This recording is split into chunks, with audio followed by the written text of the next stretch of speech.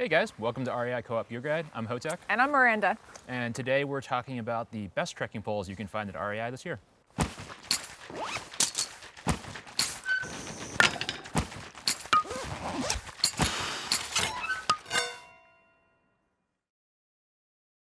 So to make our picks for best trekking poles, we talked to customers in the store and we looked at customer reviews, and then we took all those recommendations and we put them to the test on the trail.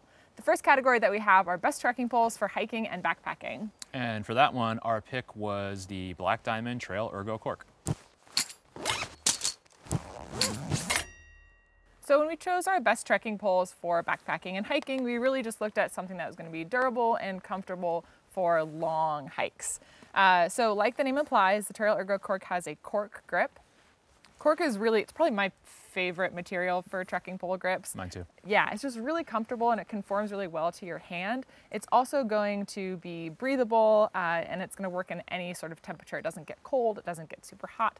It also works when it's wet. Um, I mean, it's not slippery when it's wet. It's not slippery when Obviously it's wet. Obviously it works. Uh, so yeah, so these have a cork grip on them. And then they do actually have a grip that extends down the shaft. So if you need to just choke up on the grip of the pole and you don't want to mess with the locking mechanism, you can do that really easily on these. You also have a padding on the strap that is also adjustable. Uh, the strap is adjustable.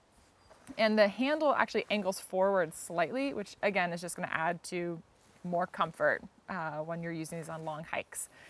The, these poles do come in a men's and a women's version. The women's version is just going to have a slightly smaller total grip. length. Yeah. Yeah, and total length. Yep. Yeah. So total length of the pole and a slightly smaller grip. So if you have smaller hands or you're shorter, you can also look at a women's pole. Um, and then these are made out of an aluminum material. So aluminum is a little bit heavier than materials like carbon, but it's going to have some flex to it. Uh, and so overall, it's just a pretty durable Yeah. Material. Um, this guy's got a really simple and easy uh, locking mechanism. So you just flip this guy up and you slide him up and down. Um, it is adjusted through a screw. So that's pretty easy to deal with. You can just use your multi-tool if it starts getting loose or a little bit too tight and you just crank that up and down. Um, it has a um, it has a basket and we can actually switch this basket out for a snow basket. So if you want to use it for snowshoeing or for some winter stuff, um, you know, you got you can just swap that out and it's Totally. a good all-around pole. Yeah, it's one pole to use for everything. Our next category is best trekking poles under $100. And for that, we chose the Leki Legacy Lite Cor-Tec trekking pole. If you're looking for just a good first trekking pole, the Leki Legacy Lite Cor-Tec is a good option for you. It's adjustable, it's decently lightweight, it's inexpensive, and it has a comfortable grip. So with these grips, you get a cork and rubber compound grip. So benefits of cork as well as the Durability of rubber. Durability of rubber, yeah, Yeah. totally. Uh, and these poles do come in a women's version. We don't have the women's version here, but that's just something to note. One cool thing that I like about the grip is that you actually have this small bump here. And that's designed to go between your pointer finger and your middle finger. And that's gonna help relieve some pressure on your hands. So these are really great if you're not used to using trekking poles and you just want a little bit more comfort there. Uh, the way these guys adjust is with a flip lock, just like the Trail Ergo Cork. Um, the difference is that instead of using a screw, it actually uses a thumb screw for the adjustment. So you can just do that with your hands. You don't need a multi-tool, and super easy to do at home. Um, and you can also switch out the basket on this guy for a snow basket, so you can use it in the winter too. Yeah, just good all around pole. And our next category for trekking poles are best trekking poles for fast hikes and for trail runners. And our pick for that one is going to be the Black Diamond Distance Z Carbon.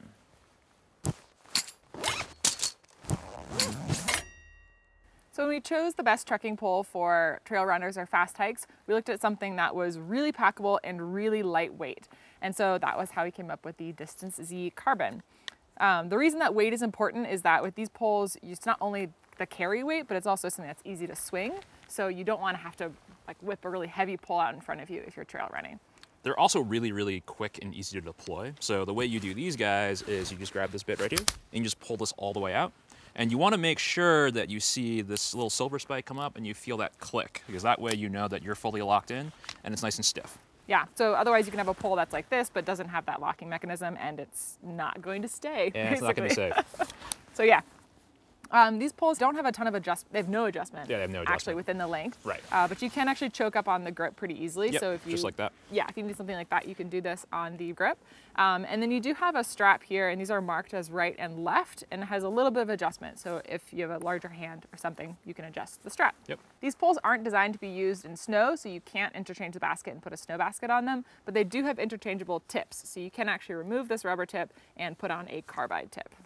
Our next category for poles are best poles for travel. And our pick for that one is going to be another Black Diamond pole, and it's going to be the Black Diamond Distance Z. which is exactly like these poles, but made out of aluminum. So when we chose a trekking pole for travel, we knew that we wanted something that would fit into a suitcase. And so the Z pole is actually packed down to be 15 inches, which is really small. Um, but we ended up choosing a pole that was aluminum instead of carbon. I feel like this is a good time to talk about the difference between aluminum and carbon. Um, there's a couple advantages to aluminum. It's going to have a little more flex in the material, which means that if you bang it around a little bit or you put a dent in the pole, the pole might not be able to take down anymore, but it's still going to be there. You can still use the pole. If you go with carbon, um, it's it's actually just as strong and it's going to be lighter. It's going to be a little bit more expensive. But if you exceed the strength of the carbon, it's going to shatter. So aluminum, slightly less expensive, slightly heavier, but it has more durability because of the flex.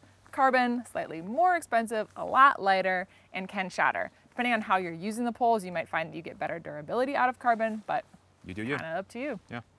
Our last category is best hiking staff, and for that, we chose the REI Co-op hiker staff.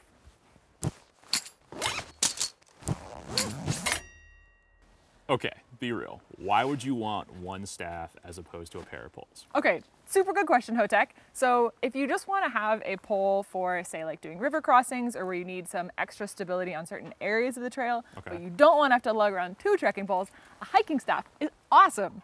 And the cool thing about the hiker staff is that this actually extends a lot longer than the other trekking poles. So this goes up to 50, oops, 55 inches. No.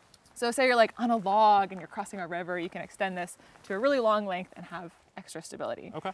The other cool thing about this pole is that you do have an extended grip, so you can choke up on it really easily, and it has a cork top on it, and the top of it unscrews and turns into a monopod. Ah, so you get your photographer on. Yeah, you can like put it and take a picture, or like take a selfie. So yeah, overall, just kind of a, a good option if you're looking for just a little bit of extra stability without having to carry around two poles. I can dig it. Sweet. That's it for trekking poles. If you have any additional questions, you can look at our other videos. And if you haven't already, go ahead and subscribe.